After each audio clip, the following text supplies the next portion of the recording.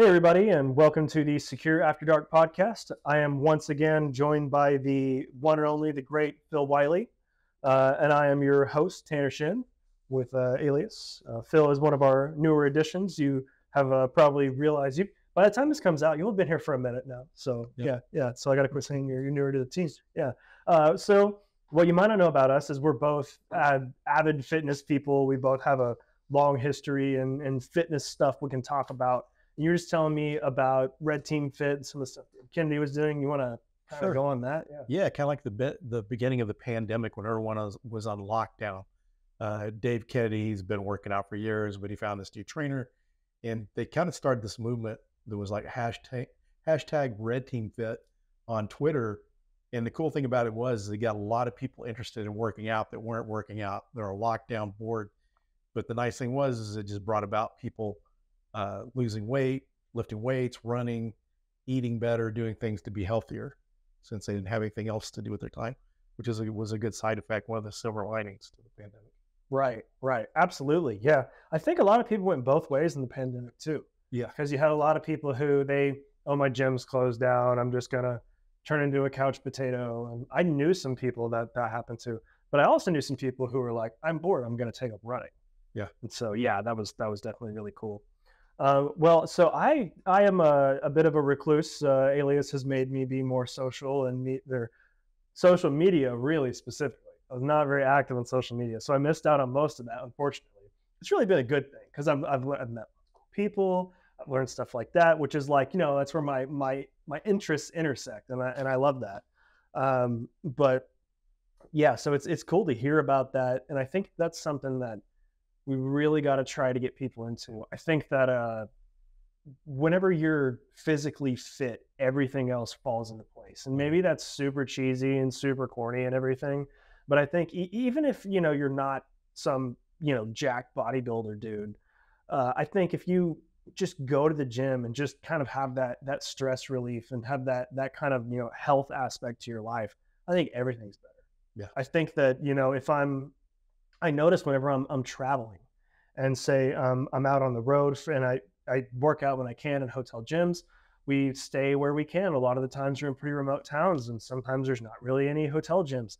I will, you know, work out with hotel room furniture and do push-ups and whatever I can do. And I, if I can't get a good workout in, I feel like by the end of the week I'm slow. I feel like I'm just not myself. And I don't, I don't know if I'm, I'm maybe alone in that, but I think that uh, I can't even imagine going back to a point where I'm not. I know, like whenever I've had injuries, I'm just, it's, it's just such a rapid decline. Even, Mhm. even for me, I feel like mentally. So I think I'm always probably annoyingly so trying to get people to yeah, man, you should go to the gym. You want to? I can help you out with a workout program and stuff. And, uh, we found out we had a lot of that stuff in common, Yeah. and uh, so I guess let's. Uh, we want to dive into some of your history. And we can dive into Sure. some of mine on. on Yeah, but before getting into that, just kind of to add to your comments, you know, you have to consider most of the people listening are people that are in cybersecurity or IT, and our brains are very, very valuable tools in what we do. And you got to consider your body is a life support system for that. So if you don't eat properly, you're not taking care of your properly yourself properly, you're not able to think as clearly. And if you're not eating right, certain kind of diets can really give you a lot of mental fog. Uh, you've had like too much sugar or carbs at lunchtime, you come back and you want to sleep. It's hard to think clearly. So I think there's really a lot of importance to that. So kind of to get into where I got started out is I got started out lifting in middle school uh, because during off-season athletics, after football season, we would go and lift in the weight room. So we just go lift, and I was able to lift pretty decent amount. It was just on a universal machine, one of the weight machines, but I was able to bench like 250 pounds on it. And uh, the thing was, I was a chubby kid and I didn't look like it. No one believed me that I lifted what I lifted. So over the summer, I watched uh, Pumping Iron, and that got me Yeah. motivated to lift because I wanted to look like that I could lift the weight too. And it kind of worked out well for me because getting into lifting helped me lose the weight. And I found probably one of the first things I was good at was lifting. The first sport I was really good at, and eventually got into powerlifting. But uh, got started at around 15 years old, right before my 15th birthday in 1980. And then uh, 1984, my senior year, I got into powerlifting, did my first powerlifting meet. So my very first powerlifting meet weighing 210 pounds. I bench pressed 350 pounds. My very first meet. Heck yeah. Uh, I had the hi- highest second total of the meet, and there was a guy that was a weight class above me that was like 250, 275 or something, and and I was able to outlift him on two of the three lifts. And so that's and it was interesting too because uh, I'd shared with you before I got shot, and so whenever I, w- I got shot, I was laying down on the ground thinking I might die. Uh, I was so competitive back then. I was worried about my bench press record getting passed up. I thought these guys gonna think Phil was nothing. You know, we, we're bench pressing this now. That guy was nothing, and that was that was what I was worried about. No, I totally understand. I've been there and that, that competitive mentality. I mean, you wake up and I'm not saying I'm not even condoning or promoting Yeah. people be like this, but I have been there where you you wake up and the first thing you think about is, all right, got to get my meals in so I can make sure I get a good lift today. Yeah. Or do you, you know, you go to bed, it's the last thing you think about. I got to go to bed early so I can get a good sleep because I got deadlifts tomorrow. Like, yeah, absolutely. Yeah. You can get you can get obsessive about it. And it's maybe not the best thing, but Yeah. I've been there. But yeah, it does teach you. Well, it's really driven me to be more goal oriented Oh yeah. stuff too. So that's carried over to my per- professional life. But yeah, as far as lifting and stuff like that, so I've been competing in powerlifting since 1984. Uh, I won the Drug Free World Championships, AWPC uh, World Championships in 2007 for the open division. Uh, the guy that was runner up to me was like 10 years younger than me. And so I was like in my early 40s when I did that. Uh, I've got several records that still stand, like in uh, the USAPL and the WABDL uh, federation. So I got some records still stand there. With with the USAPL is because the the the weight classes were retired to these newer weight classes and more aligned with like Olympic lifting, and they were they kept doing things to try to get into the Olympics and change it to be more similar. I heard part of it is for the drug testing that they're Right. doing a higher percentage of drug testing if you have less weight classes. So so yeah, so my last powerlifting competition was in 2019, but my best lifts are 573 on the squat, 407 on the bench, and 705 on the deadlift. As far as a raw deadlift, just a belt. With a deadlift suit, I've done 722 pounds. With a squat suit, 848, and 722 on the deadlift suit, and 423 with a bench press shirt. What was your weight at that point? At that point, I was staying around 242 to 250. So when I won the world championships, I was a 242. Some cases I missed uh, weigh in. So there's a competition. My one of my best all-time powerlifting meets was actually in Oklahoma City back in 2000, 2009 is where I did the the raw 705 uh, deadlift. Uh, I just barely missed the 242 pound class by like a pound or two and had to compete in 275s. But fortunately, I still still pulled off the win. The guy I was competing against had a monster squat, but once he got into the bench, we were close to even, or maybe he was still a little bit ahead of me. But then when going in at the deadlift, I was able to to pull it off. Nice. Heck yeah. Yeah. And then you also did the professional wrestling Yeah. Yeah. Yeah. So that's, I mean, that's a very physical sport. I mean, Yes. you know, I mean, you have to be physically fit even for, not even just, you have to be jacked for the show, right? Yeah. I mean, yeah, that's so, so that's definitely been a cool part of your life. Um, I mean, yeah, personally, I just, I graduated high school, uh, 17 years old. I was 127 pounds. I'm, I'm six foot two. Couldn't be much more of a string bean than I was. My dad was like, please go to the gym. You're way too skinny. and I was like, all right, fine. So I started going to the gym, fell in love with it. Basically, just hammered on at it until I was 275.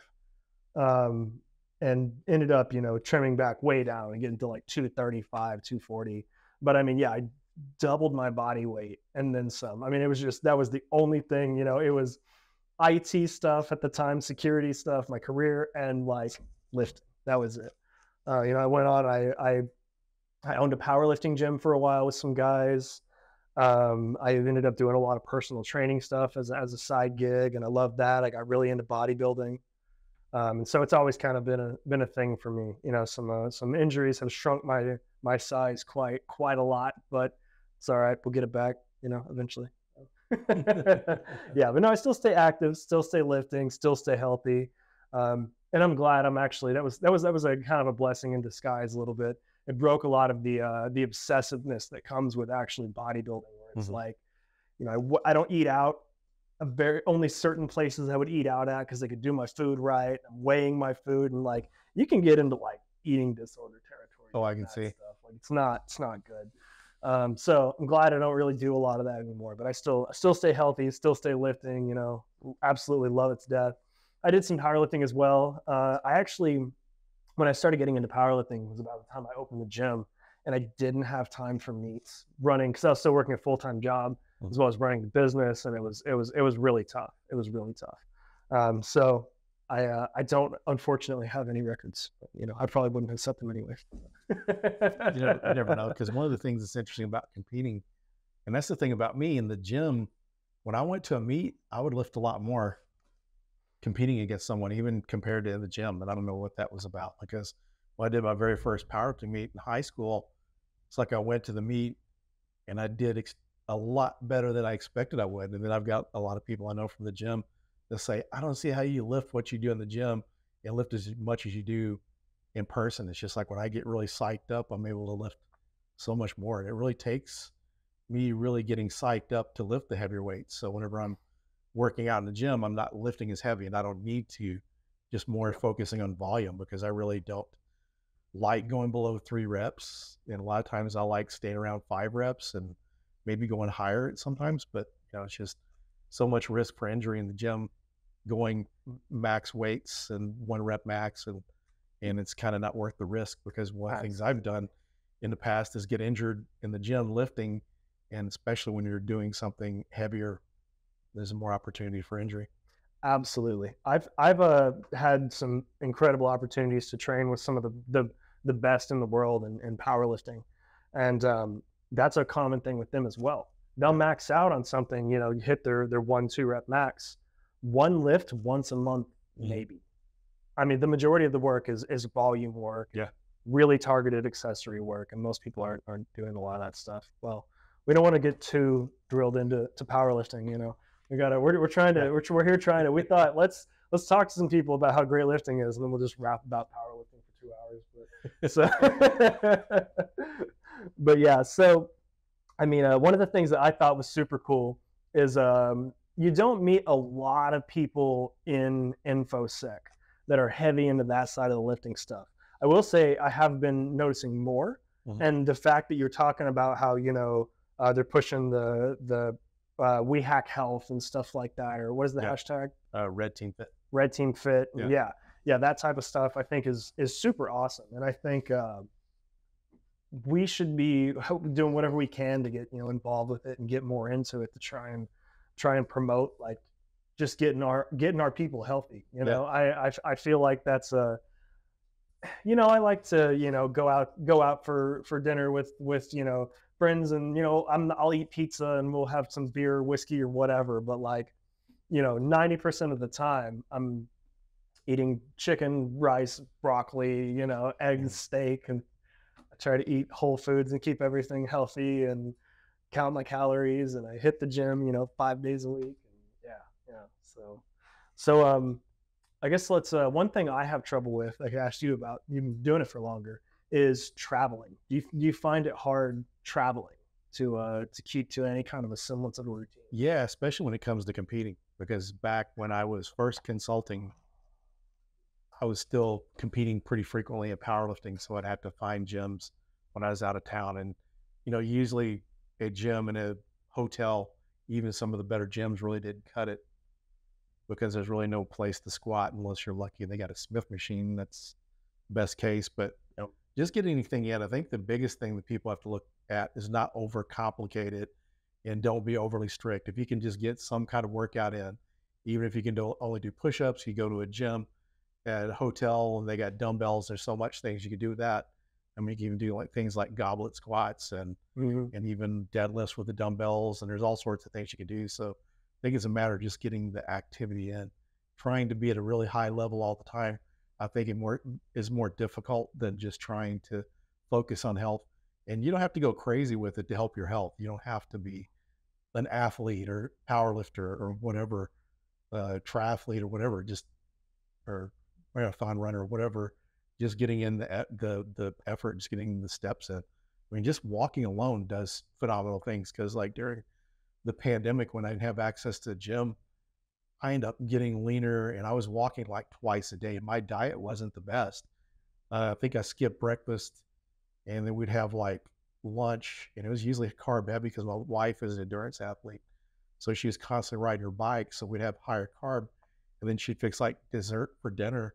And we were walking twice a day and I got leaner from yeah. it. So a lot of times just, just the walking alone, uh, getting some kind of lifting in because it's going to help your bone density. And it's really kind of uh, helps you age better because for me, I'm 58 years old. And when I look at people my age, usually they're, they look older. And a lot of it I attribute to is just lifting weights all these years. I mean, since, since I was 15 years old, since 1980, lifting weights, it helps because as we get older, you know, we get, we produce less growth hormone, less testosterone. And when those things reduce, that's kind of aging, ages us. And that's where we're kind of lucky as guys compared to women. We have the hormonal advantage. You know, we're able to, we're going in the gym headed, we're able to slow down the aging a little more, whereas it does help women as well. But just, it just kind of helps slow the aging process when you're, when you're looking. Because I forget what they say, how much your testosterone declines over the years, like starting like at 30. Yeah. Yeah, it's a lot. It's a lot. And that's why, you know, TRT and stuff is so so popular these days. I know uh, I used to go to this gym and it was like the oldest gym in Oklahoma City. I loved it. They shut down. They moved to another location, unfortunately, but um, that gym had been there since the 70s, and all the equipment was original, and it was it was it was just a great gym. But a lot of the people had been going there since the 70s. Yeah. And there was a lot of dudes you go there and they, you know, they're they're sitting there, they're still benching. You know, they're not doing heavy, but they're doing 135 and they look great. And yeah. they start talking to you and they're like, I'm 85 years old. And you're like, You're what? and you know, you just see these guys and your jaw would drop that they they they're they're in there every single day lifting mm-hmm. weights. And it's like, well, there's a pretty obvious thing that they all have in common, right? Yeah. You know, these these older guys who are in great shape and everything's yeah, yeah. So. This may be going way back and some people may not maybe too young to remember, but Jack LaLanne, because he was like in fitness like way long ago. When I was a kid, like in the 70s, he had his old television show where he just did calisthenics. And this guy used to do some strongman type stuff. It was like something where he'd pulled a boat while swimming and some different things. So he was kind of more on the strongman spectrum and yeah. stuff. But, uh, you know, he's doing all that. And the guy lived to be a very old age, but he really practiced eating healthy one of the things he really just kind of cut out is unnecessary carbs like white flour and, and sugar, focus on fruits and vegetables along with, he wasn't vegetarian, but, uh, you know, getting plenty of protein and exercise. And, and that guy, you know, stayed pretty healthy for most of his life.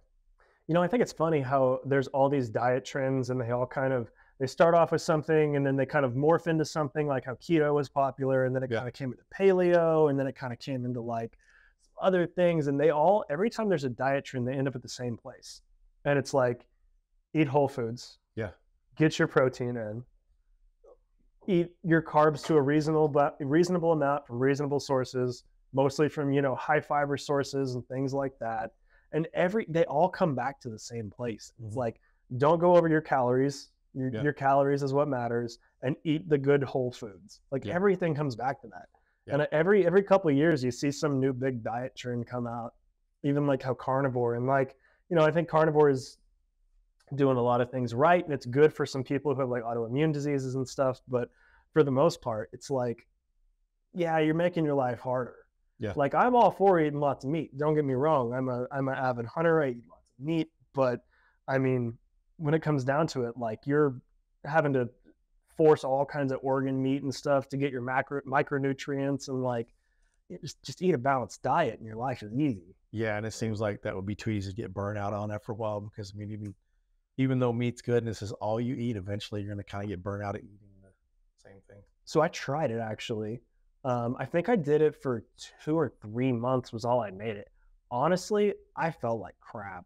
I did not. I I had it was mostly in the gym that I felt like crap. Uh-huh. Um, I didn't feel super good throughout the day, not like I normally do. I felt I just felt a little bit less than a little. But in the gym, I was just my lifts were going down. Yeah. I didn't have good pumps, and everybody's like, "Oh, you have to acclimate to it."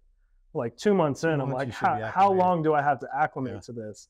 And I was eating liver every day, and I was eating all kinds of fatty. I was spending more on food too. Yeah. because I was eating lots of ribeye and and you know I I bought a quarter of a cow and I was eating you know like whole bought you know grass fed good Yeah. stuff, and you know I love steak. I wasn't complaining about that, but I, I wasn't feeling very good and wasn't having very good gym progress and stuff. And so yeah, that was uh I did try it. I Yeah. did try it. You know, I was uh okay, you know, I had some friends that were swearing by it. I was like, I don't believe you, but I'll try it. But you know, that brings up a good point. You know, there's not one size fits all. So I mean, some people need more carbs, some people can do well without it. Some people need less carbs, some people need more. So I'm sure a lot of yours was just because you weren't getting carbs. And I am a very Yeah. carb heavy diet person Mhm. when I'm when I'm training hard. Yeah. Absolutely. Yeah, I'll train hard. I'll have um, you know, 100 grams of carbs a couple hours before.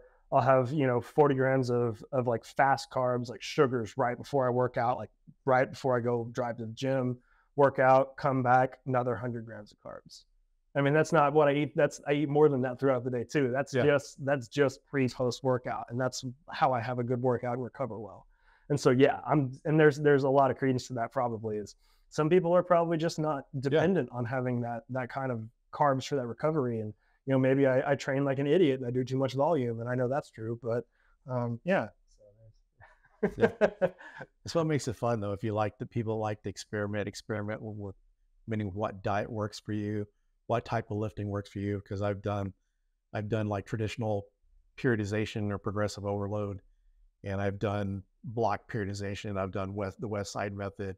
I've done five three one, but it's just working with all those different methods. You kind of finally figure out what works for you. Absolutely. For me, it's more reps, sets and reps, more of a power building routine that works best for me than just going really heavy. Yeah, absolutely. And I, and I, I kind of I kind of the same way where I do a lot of periodization, but with a lot of volume.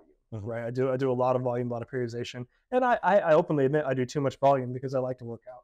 Yeah. That that's a lot of it. Is like I don't want to be in the gym for 30 minutes. I want to be in the gym for as long as I can without getting super worn out Yeah. because I love it. I'm I'm weird like that. I get it. Yeah. That's not for everybody. But also, you know, I would like to say for anybody, any if anybody's made it this far, you know, we haven't we haven't bored them with powerlifting talk yet. um, I would like to say uh, it's not you don't just have to lift. Like, no. Go run, go hike, go climb. Yes. Um, you know, man, um, I've known people who have taken up climbing without even lifting. I know people who then later on got into lifting to improve their climbing, which is Mhm. great to do. Um, but just started getting in incredible shape. Yeah. I mean, doing, you know, physical feats that I absolutely could not as, you know, a gym rat. And it's just like, you know, there's there's lots of ways you can you can get fit. It doesn't Yeah. have to be meathead in the gym lifting. Yeah. And some of the best advice I'd seen, uh, there's the, the, um, trying to think of the, this one diet they come out with that they came out similar to paleo, but they were talking about one of the days is you would have days of active play, just something you're doing fun that, you know, if you like to surf, if you like to skate or whatever, you know, play football, different sports, just put in different days where you're just doing things that are fun to do and you just you can do it for hours and not even really think about it you're getting all this activity So I used to do that when I was personal training, is I would prescribe days of active rest, Mhm. what we call Okay, it. So so typically if you had somebody training for four days a week or five days a week, you'd have one day of rest and one day of active rest. And you'd kind of spread that apart. You're like on your rest day, like, you know, it's the day after you did heavy deadlifts or something, like go veg out, rest. But on your active rest, it's like if you're in like a, you're trying to lose weight, you're trying to get leaner and everything like that, go on a hike, go do something you like, you know. And I uh, personally, uh, w- uh, with my significant other, we were playing Pokemon Go, and uh, you know that was a whole lot of fun, right? Whoever's Pokemon Go. But I remember I was like, cool, this is this is my active rest days. We'll go walk, you know, seven eight miles, doing Pokemon Go all night, and like you know you're just walking around Yeah. town all night, and that's you know we're having fun, we're doing cool stuff. But you look at it, you're like, I just burned six seven hundred calories walking around for five hours. Like it's it can definitely be uh, something that's that's great to do. I think more people should incorporate that. yeah and i think a lot of people need that more from the with the work from home jobs because i could tell the difference because i have type 2 diabetes and when i'm at a conference and constantly moving around all day, I can see a big difference compared to when I'm at home sitting at a desk all day. Absolutely. Uh, overall energy levels? or- Yes. And just the way my blood glucose levels are better, Yeah, I bet. blood pressure is better. I bet. Yeah. No, I think so as well. I mean, there's there's probably a stress relief component to that as well, because you know you're getting out of the house, you're kind of disassociating from whatever you're stuck working on. You're you're you're getting your physical exercise in. I think it's yeah, it's overall good. So what what's the message? Go out, have fun. That's- Yeah. Just, just move. yeah, just move. Go out, have Yeah. fun.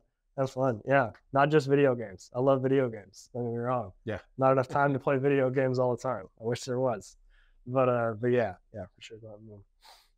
Um, anything we wanted to wanted to cover? Talking about uh, hey, people go out and get healthy. Yeah, I just think making sure that you're trying to eat healthy and uh, I think supplements help. I think you can. Oh, yeah. I think that for me, I just make sure that I get plenty of vitamin C uh, and vitamin D. So I have my vitamin D levels checked with my physicals. And anytime I have blood tests to kind of keep it on the more healthy side, you know, keeping your vitamin D levels at a good level is uh, cancer preventative and just helps your overall immune system. I take vitamin D every day. There's not a lot of things that I take. I, I really keep my supplements to a minimum. Vitamin D, absolutely. That's like number one, Yeah. Like that's it's so important, especially working at computers. How much sun Yeah. do we really get? Like, Yeah.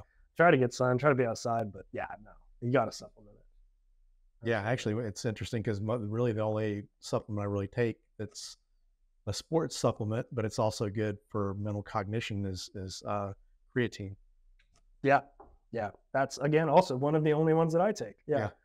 Yeah, yeah, and creatine is uh, it's inexpensive. It's it's great for gym recovery. It Mhm. helps your soreness. It helps mental, like you said, cognitive. Yeah, yeah, fantastic, absolutely. That's one of the main reasons I started back taking it for the the cognitive effects. Getting older, just trying to maintain, you know, good brain health. Did you notice a big difference from taking it, not taking it? I actually think I've I've noticed a little more mental clarity. I think. Yeah. I feel like I did. I, I, I'm always hesitant. I'm like, am I convincing myself that I am, or am I? I'm never. I'm never sure. I feel like it's probably there. I mean, there's studies that say it's there. It's Mhm. definitely there. Um, but but yeah, I think uh, the main thing that I notice from it is just uh, soreness. Like I don't. I feel like my recovery is better for Yeah. sure. And so, but but it's it's inexpensive, right? Yeah. It's it's not an expensive supplement. And there's all these supplements that are super expensive and supposed to boost your testosterone and X Y Z, Yeah. and they don't really do crap. And Yes is one of the few that actually does anything that I can actually feel. Exactly. Same here. Same here. Um, yeah. Well, uh, that's that's one thing we'd also cover real quick before we before we sign out for the day. Um, we also just talked about we didn't really get sick that much. Mhm. Like we we both travel a ton, going to Yeah. a ton of conferences around all kinds of people. You're meeting people. You're I mean, for you know, for me, we're having drinks even, which is gonna, not going to help your immune system. Yeah. We're sitting across the table, and I make sure that I take my vitamin D, my vitamin C anytime I'm doing this, and N-acetylcysteine is the other Yeah. thing that I swear by. Take that every time, and uh, I have never really gotten sick from going to a conference. Yeah, same. Um, the only time I have was when I didn't take anything. I I kind of left everything at home, didn't really worry about it. Went to a customer site for a week, came back, got COVID. You know, that's the only time I've ever had it. I was like, okay, I'm sticking with my uh, my routine. I think it works. Yeah, when I'm going to conferences, I actually take a little extra vitamin C that week too. Uh, yeah, absolutely, sure do. Um, well, heck yeah, man. Um, so that's that's we we might be a super weird topic, you know, for for this podcast, but it's just something we we had in common, and we were hanging out, and I was like, we should just talk about it. You know, I think if we can convince anybody to go out and give give lifting a try or anything like that, I tell you what, you hit me up. I'm happy to point you to some material or point you some some directions that could get you started lifting or or get you help started in the, the right direction on some diet stuff or anything like that. So yeah, cool. Well, thanks for hanging out. You're welcome. It's been fun. chat. Yeah, absolutely. Happy to go a, a little bit left turn on the topic and you know chat about some some non tech related stuff. Yeah. Yeah. All right. Well, thanks everybody for hanging out, and I hope you enjoy it.